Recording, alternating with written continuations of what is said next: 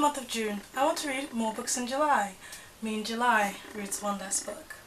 Hi guys, it's Olivia here from Olivia's Catastrophe and I'm here to give you my late July wrap up. In the month of July I only read review copies and books that I need to review on my blog so I read six books. I didn't do much reading, I wasn't really feeling it but let me tell you about the books that I did read.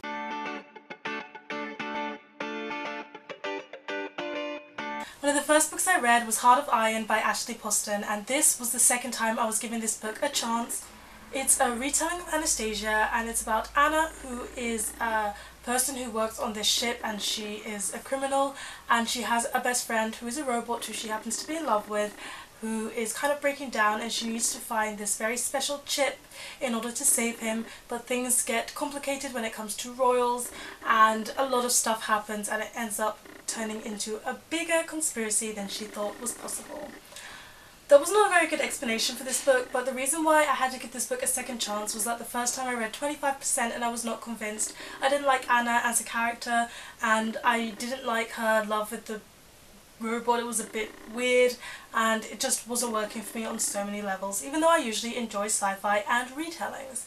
However, reading it this time I did enjoy it more and I have to say the secondary characters are what really brought it through for me.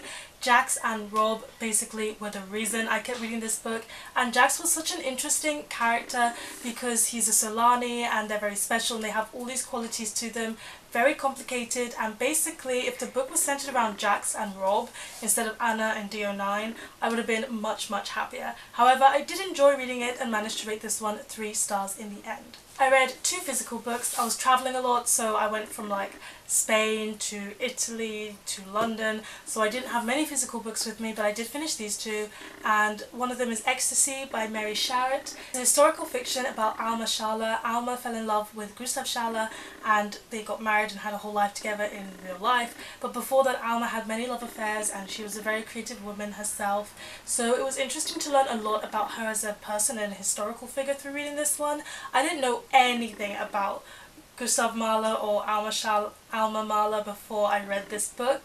I didn't know some of the figures that she had love affairs with and I just really enjoyed this historical fiction. I gave it four stars. It really talked about womanhood, motherhood, art, creativity, music and it was just so interesting to read this book and especially because when she married Gustav Mahler he wanted her to give up her composing to be with him which is just a very interesting point and I think very interesting feminist discussion can be brought up around this book. It kind of reminded me of Circe but then historical fiction wise instead of mythology so if you enjoyed that one you might also enjoy this one. I actually bought like six other books because she keeps mentioning all these writers in this book and I just have to read their books to see what I think of them myself. Then the next physical book and the last physical book I read was Hellworld by Tom Leveen.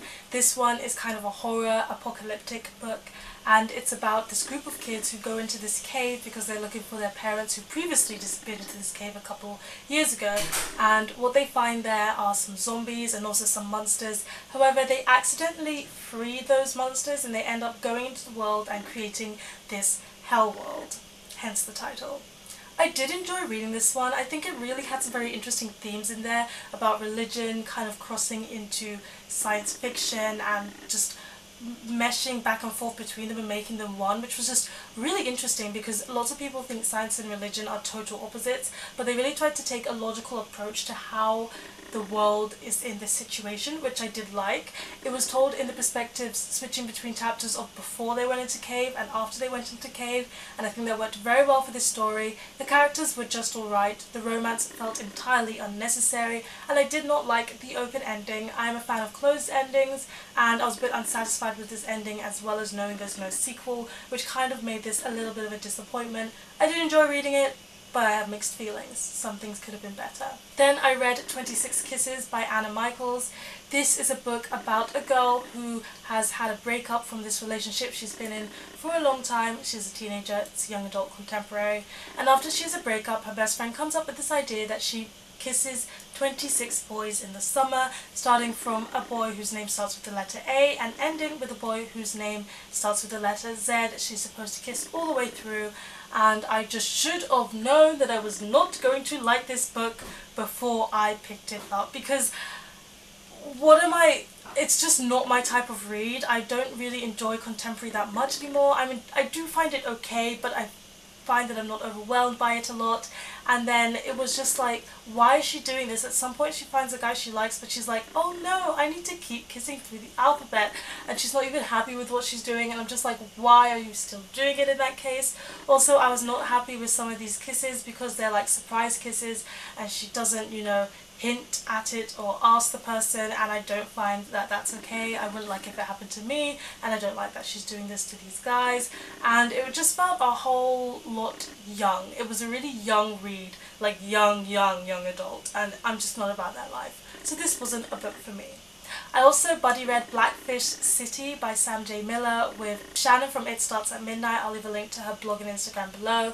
And this is a science fiction read that I couldn't say it's young adult but I couldn't say it's adult anymore maybe somewhere in between. And I did enjoy this one but I did have problems with it too.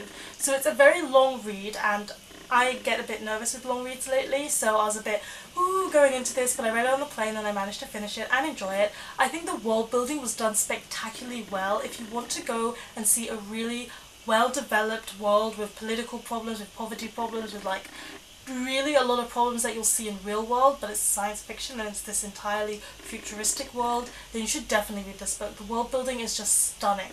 However, it switches perspective between characters a lot and I didn't really like any of the characters. The characters felt very 2D and underdeveloped and the plot was very good but it focuses on a lot of things and at some points I found it hard to know how it was all going to tie together. It does all tie together and the plot at the end was, I really appreciated it. I really enjoyed the themes that it brought up, I really enjoyed what it discussed and I really thought it was great to see so much LGBT plus rep including gay and lesbian characters and also non-binary characters. So it's really great to have all of that representation and brilliant world building, but I'm about the characters and those were just very 2D. And the last book I read was the 39 Clues Double Cross and I believe it was Titanic. I'll have a picture of the cover up here.